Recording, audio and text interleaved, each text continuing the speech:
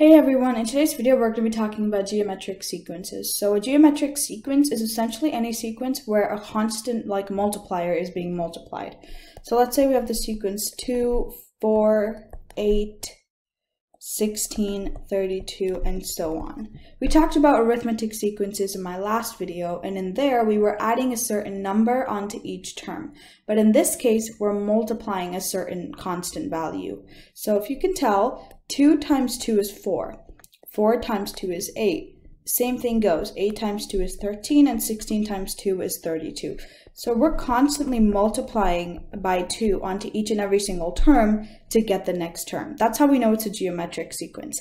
And there's a formula to find a certain term of this. So as you, if you can recall from my last video, the first term of the sequence is 2, second term is 4, third term is 8, 16 is the fourth term, and so on.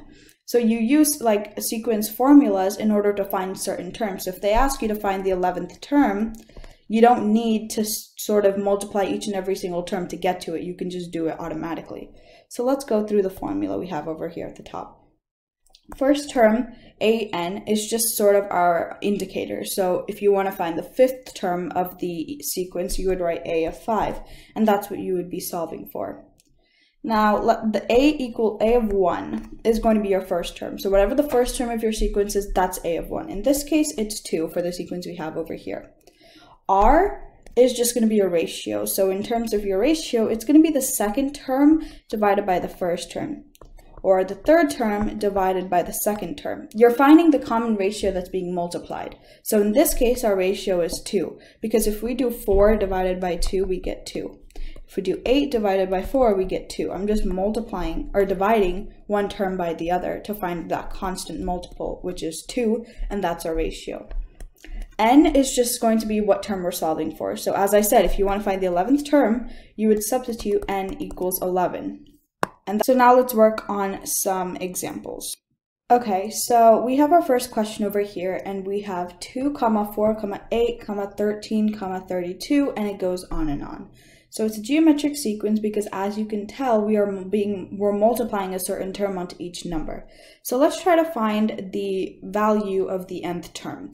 So we're going to substitute all our values into this equation to find an, an equation for a subscript n. So a of n is equal to a of 1. So a of 1 in this case is 2 because that's just our first term. 2 times r. r is just what we're multiplying by. And in this case, we're multiplying by 2. This is the equation, the example I went over just a couple seconds ago, um, and we're just multiplying 2 onto each and every single term. So our ratio is just going to be 2. And we're just going to leave it as it is, as n minus 1, because in this case, we're not solving for any particular term. We're just trying to write an equation that we can use to solve for a term at a future time. So um, now there's one more important thing that you have to know is that you cannot multiply these two together.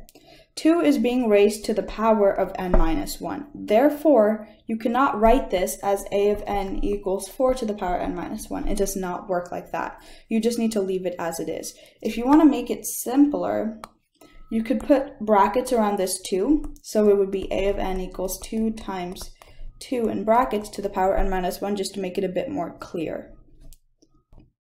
Okay, so now let's work on our next question. Over here we have a sequence, negative 1 comma 1, negative 1 comma 1, negative 1 comma, and it goes on and on. What's one thing you can tell? One, I know that it's alternating between positive and negative, so that's one thing we have to look at.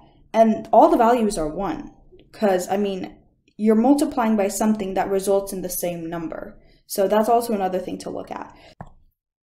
So first, let's try to input all of our values in the formula. So a of n is equal to, what's a of 1? In this case, it's negative 1. So we're just going to write negative 1. Just to make this easier, I'm going to put brackets around the r. So in this case, to find r, as I said in my in a couple seconds ago, r is going to be the second term divided by the first term. Or you could even do like the fifth term divided by the fourth term, but it's going to be the, the quotient of two consecutive terms.